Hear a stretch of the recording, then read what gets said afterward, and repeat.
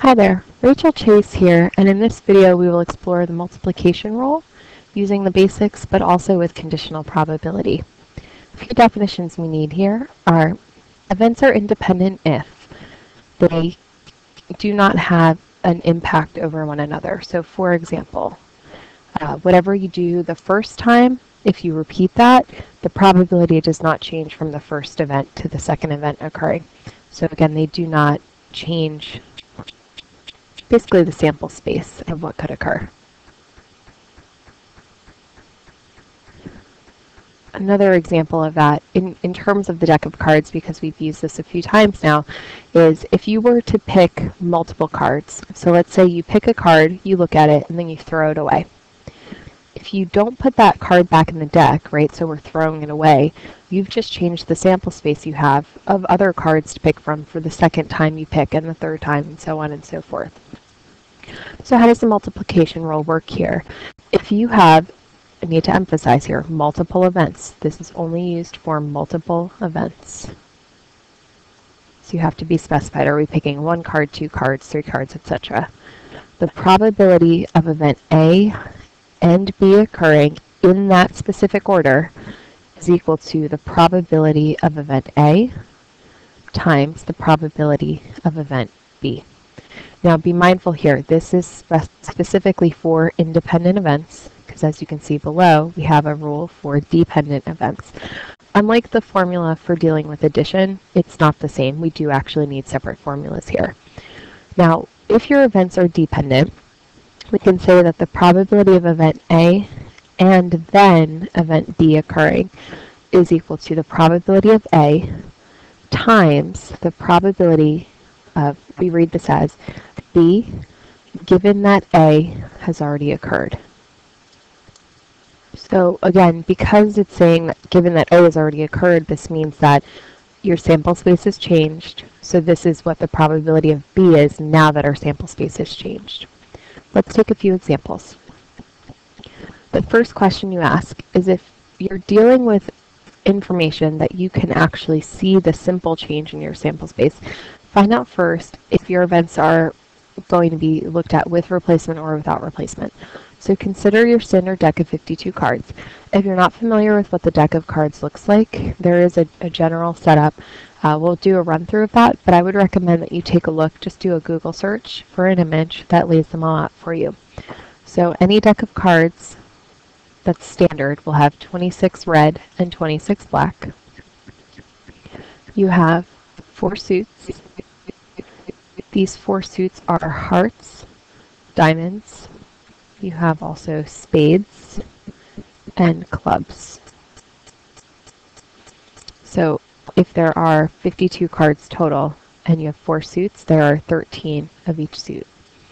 And then you also have four of each kind of card. So for example, you have four twos, four threes, four queens, four kings, four aces, etc. Considering our standard deck of 52 cards, with replacement, what is the probability of selecting a king and then a queen?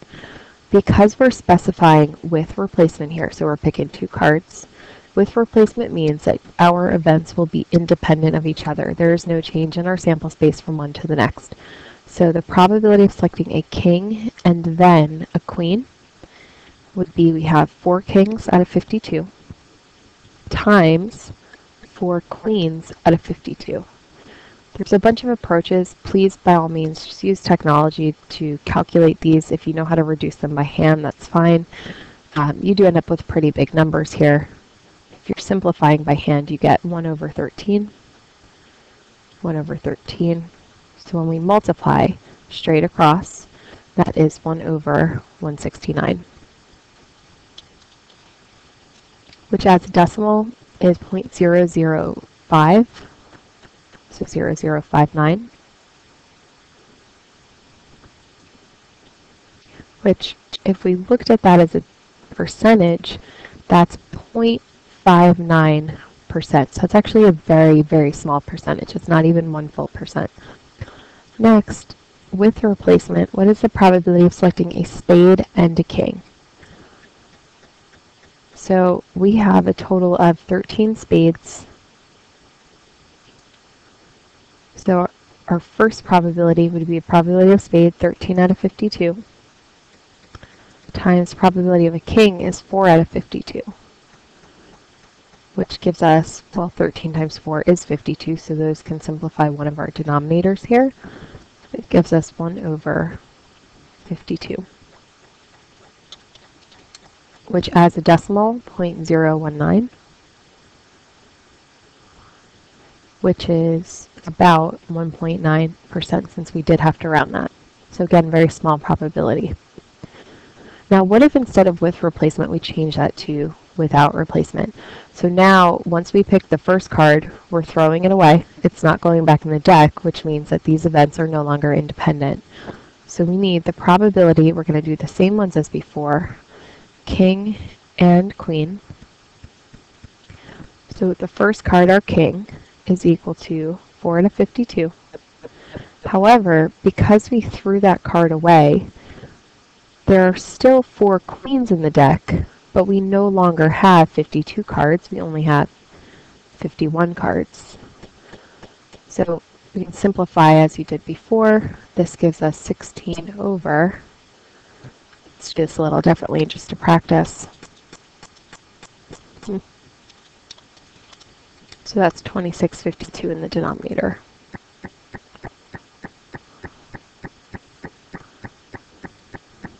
Now, if you wanted to reduce this in the calculator, so we have 16 divided by 2652.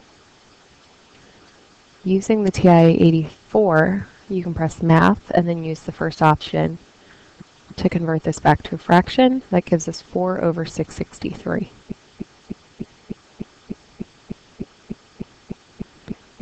Which, if you want that as a decimal, depending on the context, is 0.006 when rounded.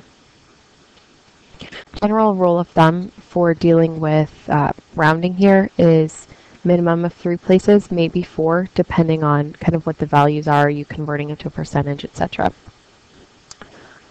One more example here. What if we want to select two kings in a row without replacement?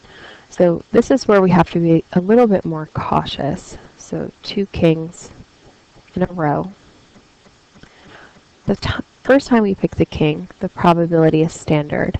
However, the second king that we pick, just like we saw earlier, we no longer have 52 cards in the deck, we only have 51. But because that card was thrown out, we no longer have four kings, there are only three. So this is where things change a little bit.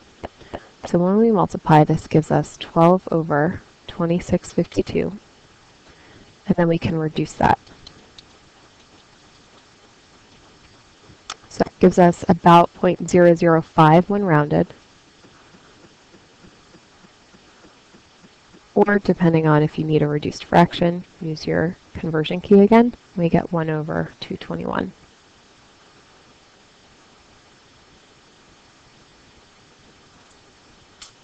For the next part of our video, let's take a look a little bit more closely at using conditional probability. So that is when we have dependent events, the given portion of what we're doing.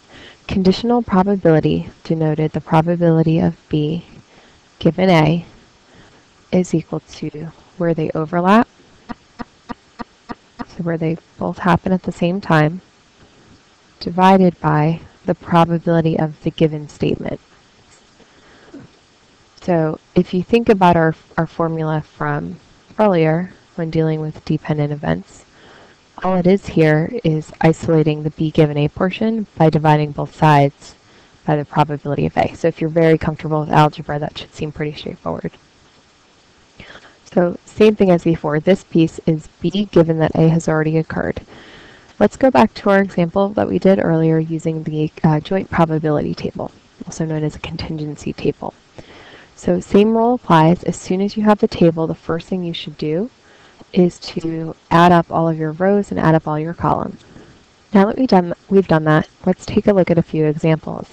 Find the probability of selecting a red truck. So something that has both of those properties. We have, if we look at our red vehicles and go to trucks, we have six of them. So that probability is 6 over 52. And then we'll just write that as a decimal, which is 0.115. So about 11.5%. What is the probability of selecting a red and black vehicle? So can we select a red and black vehicle at the same time? Just like we talked about earlier when the colors are different, those cannot occur at the same time, so that would be an impossible probability. So the probability of it being red and black is zero. What is the probability of selecting a sedan given that the vehicle is white?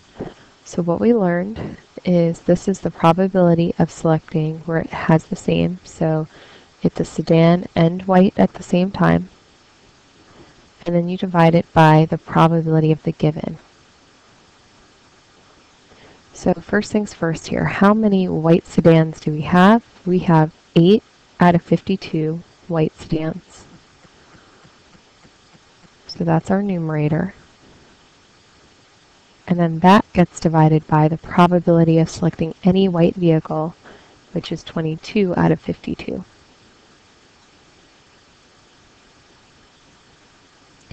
Now, something to point out here is this is in fact a complex fraction.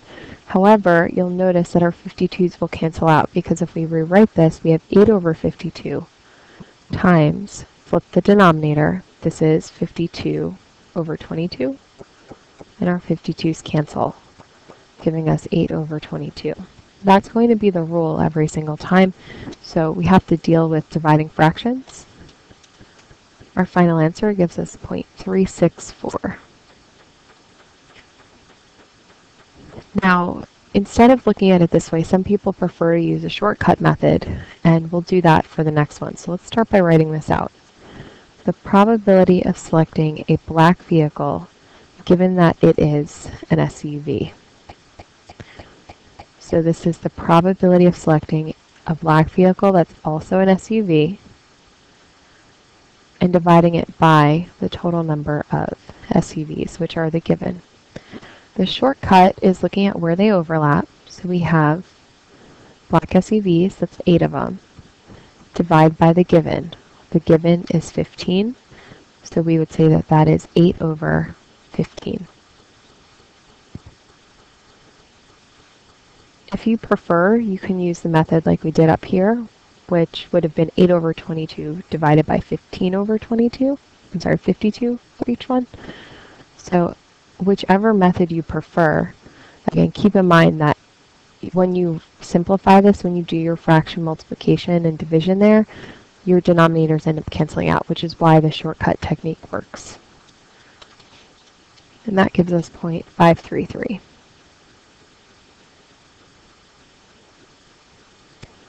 Last thing to be very mindful of here is that these two statements are not interchangeable.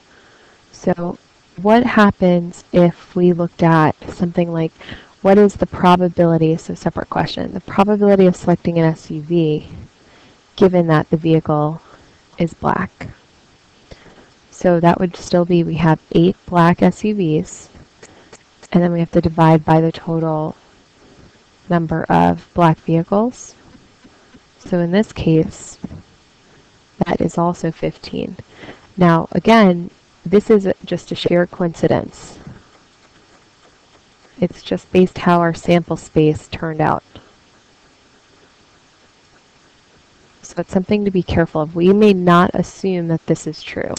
And an example of where they wouldn't be the same, again, it's just a coincidence that they're the same, is what if we flipped around and instead of sedans, given that they're white, what if we asked for a white vehicle, given that it's a sedan? So we have eight white sedans. However, how many sedans do we have in total? 14. So our given is 14, so we divide that by 14. 8 over 22 and 8 over 14 are not the same amount. Again, just following up that these are not always going to be the same. They might be coincidentally, but you have to be cautious of that. Thanks for watching this video. Our next video will conclude with counting of probabilities.